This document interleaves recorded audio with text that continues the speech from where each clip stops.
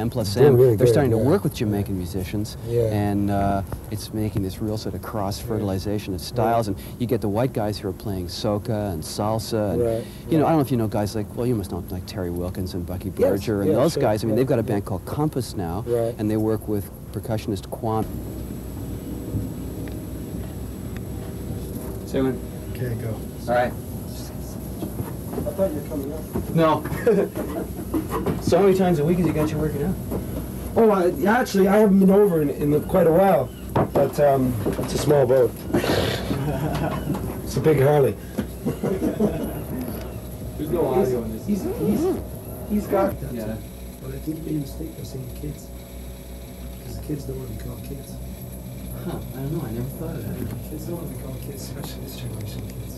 It's not like your kids are all right, huh? Well, no, well that was a different. Okay, every time. Okay. He's excluding himself from that, uh, that market.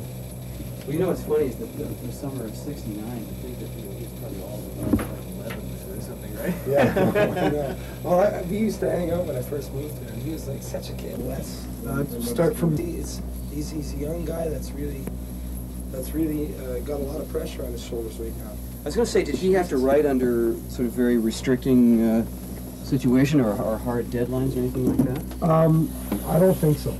I think I I know that he did write a lot of tunes for this album, and they threw out a lot. Did they try and